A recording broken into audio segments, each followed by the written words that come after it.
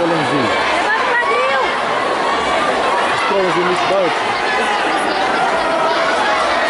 Então, nós estamos perguntando para o pessoal se